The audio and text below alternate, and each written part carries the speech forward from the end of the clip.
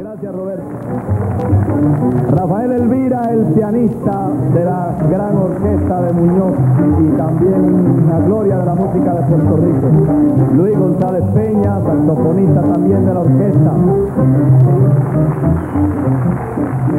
Y entonces voy a presentar a dos grandes eh, voces que ha tenido la música de nuestro país, que fueron compañeros de Monero y que de alguna u otra manera están ligados a la vida profesional de José Luis Monero. Aquí tenemos a Joe Valle. Joe, ¿cómo tú estás? Hay mucha historia aquí, pero hay que ser corto porque tenemos muchas cosas en nuestra próxima hora. En una vez que Monero se fue a la orquesta Siboney, cuando volvió Monero como el hijo pródigo a la orquesta de Rafael Muñoz, quien ocupó su lugar en la orquesta Siboney fue Joe Valle. ¿Es así? Y Vitín Garay, otra de esas voces lindas que ha dado Puerto Rico. Vitín, ¿cuándo tú entraste a la orquesta de Muñoz?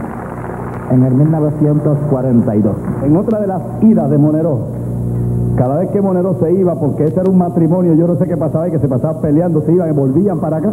Entonces, aquí hay un señor, uno de los grandes hombres del micrófono de Puerto Rico. Yo lo invité esta noche porque él era la voz, diría yo, oficial de la orquesta de Rafael Muñoz. Cuando no había televisión, pues este hombre a través de los programas de radio dio a conocer mucha de la música de Rafael Muñoz y su orquesta y decir Rafael Muñoz y su, orquesta era casi decir Antonio Alfonso, el decano de los locutores de Puerto Rico, el padre de todos nosotros. Gracias por estar con nosotros, cariño, y su bella esposa, Clara Luz Martí. Encantado de tenerlos aquí. Ay, qué lindo. Uf, un bello ramo te tengo, Clara, por ser tan atenta y haber venido esta noche. Bueno, como todo lo tenemos que limitar a una hora, yo voy a ir conversando con, con estos distinguidos amigos en relación a los números musicales que grababa Monero o que cantaba Monero. Uno de los números llevaba por título Amor, deja que yo ponga mi fe. Y era de Paquito López Vidal. Paquito, este número, ¿cuándo lo escribiste? ¿Cuándo? Más o menos, ¿te acuerdas? Tendría como 20 años. 20, 20 años. ¿Ustedes eran todos jóvenes en esa orquesta? Es- Eso es cierto. o sea, era una orquesta de gente joven y todos componían. Algunos, habíamos casi todos. ¿verdad? Bueno, a- de aquí faltan de la orquesta Baltasar Echevarría, que falleció, eh, alguien que tocaba el trombón, ¿verdad? Samuel Rivera, Samuel Rivera y otro trompetista. eh, Pete Rivera. Rivera y Miguelito Miranda, ¿verdad? Que alternaron sus trabajos. Así que casi todos escribían porque Pete, Baltasar, Miguelito escribía. Todo el mundo ponía su piedrita. Y este número te lo inspiró alguien, amor, deja que yo ponga mi fe. Bueno, no. Sí, presumo que sí, pero ya quizás él ni se acuerda. De lo que estamos hablando, no hablemos de los romances, porque si eran todos jóvenes, eran los mamitos de aquellos días, muchachos todos bonitos, como ustedes pueden ver. Así es que Monero va a cantar de Paquito López Vidal, con su orquesta Amor. Deja que yo ponga mi fe.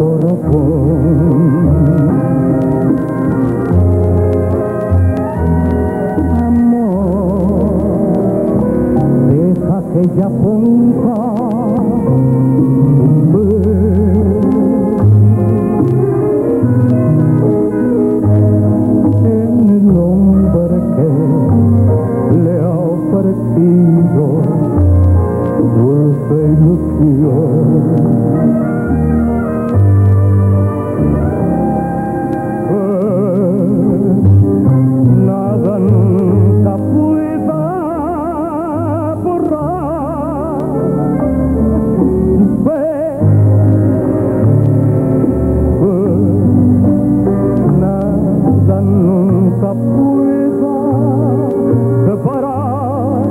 nuestro.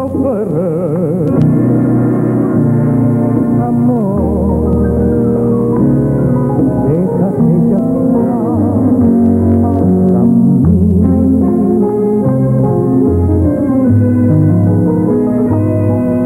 de ser feliz, que se de ser feliz.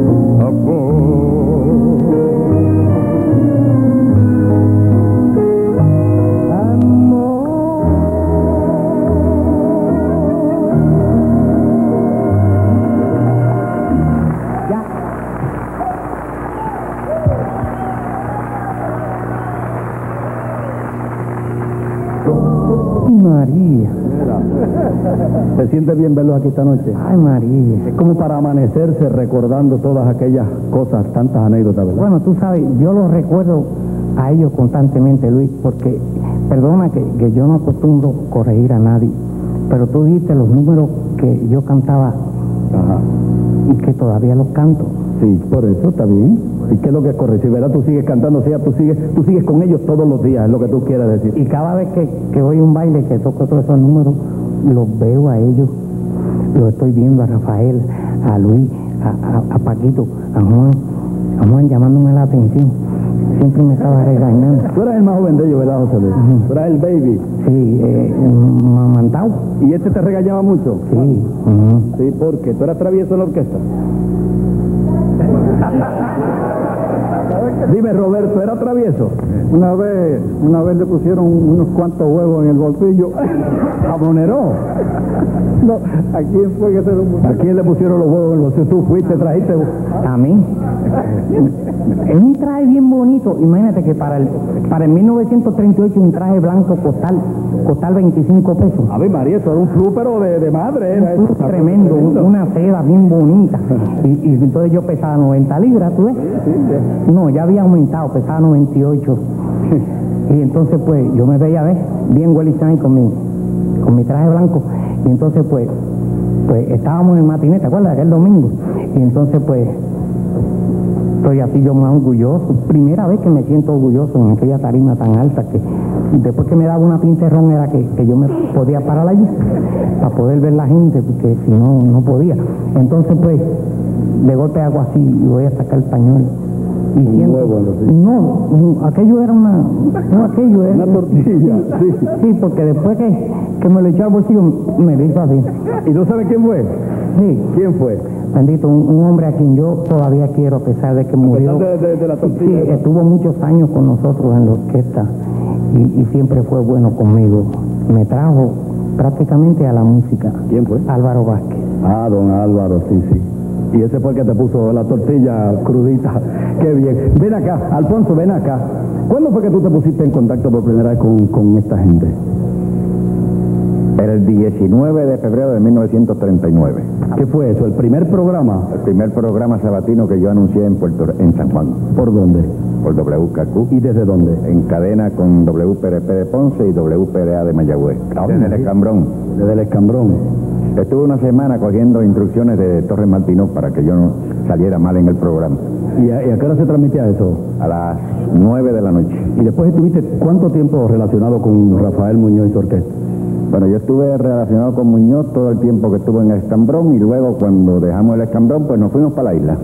Y yo era el que los llevaba y los anunciaba y, y me daban buena plata. Me imagino, además que tú te la merecías.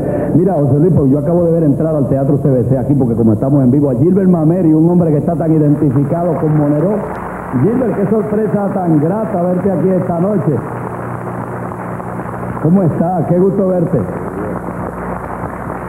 Bueno, como queremos que ustedes sigan escuchando a Monero cantar, vamos a presentar ahora un número que lo compuso el papá de Lidia, que era saxofonista de la orquesta, Baltasar Echevarría.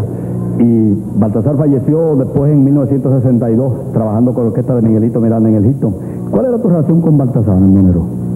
Mi relación con Baltasar, muchacho, es así de larga. Sí. Baltasar vivían detrás de la casa donde yo vivía en Cauca.